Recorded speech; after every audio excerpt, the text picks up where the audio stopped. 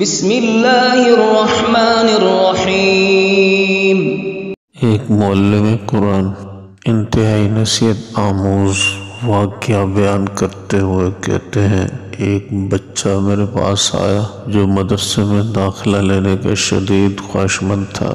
میں نے اس سے پوچھا، بچے، آپ کو قرآن کا کچھ حصہ زبانی یاد ہے؟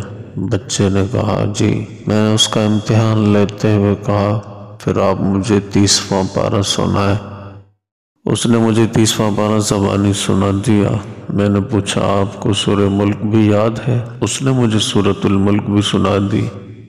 مجھے بڑا تعجب ہوا کہ اس چھوٹے سے بچے نے کم عمری کے باوجود قرآن مجید کا، قرآن مجید کا کچھ حصہ حفظ کیا ہوا ہے۔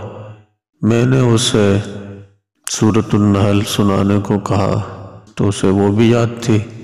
جو جو وہ میرے سوالات کا جواب دے رہا تھا، میری حیرانی بڑھتی جا رہی تھی۔ میں نے سوچا کہ اب اس سے بڑی صورتوں کے متعلق پوچھتے ہیں میں نے کہا، آپ کو سورة البقرہ بھی یاد ہے؟ اس نے ہاں اس نے ہاں میں جواب دیا۔ اور ساتھ ہی کسی غلطی کے بغیر سورة البقرہ بھی زبانی سنا ڈالی۔ میں نے متعجب ہو کر پوچھا بچے لگتا ہے آپ نے پورا قرآن حفظ کر رکھا ہے۔ اس نے کہا جی۔ یہ سنتے ہی فرت مسرت سے میری زبان سے بے سختہ سبحان اللہ، ماشاء اللہ، تبارک اللہ کے الفاظ ادا ہونا شروع ہو گئے۔ میں نے اس سے کہا، آپ کل میرے دفتر آ جائیے گا اور ساتھ اپنے سرپرست کو بھی لیتے آئیے گا۔ میں بچے کے جانے کے بعد حیرت و استجاب کے سمندر میں ڈوبا رہا اور دل دل میں تانے بانے بنتا رہا کہ یقیناً اس کے والد صاحب دین کے پابند نیک سیرت اور قرآن سے شدید محبت رکھنے والے ہوں گے، جس کے نتیجے میں اس نے اپنے بچے کو اتنی چھوٹی عمر میں قرآن یاد کرا دیا ہے۔ مجھے اس وقت حیرانی کا شدید جھٹکا لگا جب وہ کل صبح اپنے والد صاحب کو لے کر آیا۔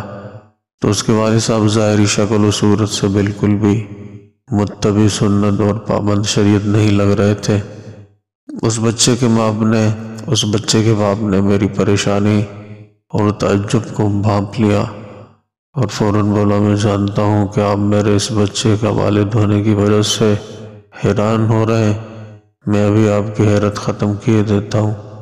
اصل بات یہ ہے کہ اس بچے کے حفظ قرآن کے پیچھے، اصل بات یہ ہے کہ اس بچے کے حفظ قرآن کے پیچھے اس کی والدہ کا ہاتھ ہے، جو بچوں کی تربیت کے حوالے سے ایک ہزار آدمیوں کے برابر ہے۔ آپ یہ بات سن کر مزید حیران ہوں گے کہ میرے تین بیٹے ہیں اور سب قرآن کے حافظ ہیں۔ میری سب سے چھوٹی بیٹی چار سال کی ہے اور وہ بھی تیسواں بارہ حفظ کر چکی ہے۔ میری حیرانی انتہا کو پہنچ چکی تھی۔ میں نے پوچھا، یہ کیسے ممکن؟ چار سال کی بچی نے تیسواں بارہ کیسے یاد کر لیا؟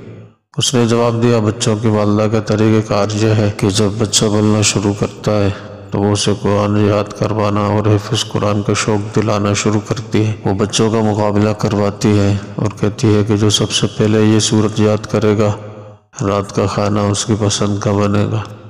جو سب سے پہلے پارا حفظ کرے گا، ہم چھٹی پر اس کی پسند کی جگہ گھومنے جائیں گے۔ جو سب سے پہلے قرآن ختم کرے گا ہم سالانہ چھٹیاں اس کے منتخب کردہ علاقے میں گزارنے جائیں گے۔ جو بچے اپنے اپنے شوق کی تکمیل کے لیے حفظ قرآن میں بڑھ چڑھ کر حصہ لیتے ہیں۔ جی ہاں اسی نیک مائیں ہی گھر سنوارتی ہے امام بخاری رحم اللہ کے امیر المومنین فی الحدیث بننے کے پیچھے ان کی والدہ ہی کی کابش ہے۔ امام شافی رحم اللہ کے عظیم فقی محدث بننے کے پیچھے ان کی والدہ ماجدہ کی ہی کوشش تھی۔ امام مالک رحم اللہ کے امام دارالحجرہ کے منصب عالی پر فائز ہونے کے پیچھے ان کی والدہ محترمہ کا ہاتھ تھا۔ امام احمد بن حنبل کے امام اہل سنہ والجماع کا لقب حاصل کرنے کے پیچھے ان کی والدہ محترمہ کی محنتیں تھیں۔ یاد رکھیے، نیک اور صالح عورت نصف معاشرہ نہیں ہوتی بلکہ معاشرے کی بنیاد اور ستون ہوتی ہے۔ میری امت کی ماؤں کو معاشرے کو کارآمد اور دین کے نور سے آراستہ افراد فراہم کرنے کے لیے امت بننے کی ضرورت ہے۔ اگر مائیں امت بننے کا تہیہ کر لے تو قوم کو بام عروج پر پہنچنے سے کوئی نہیں روک سکتا۔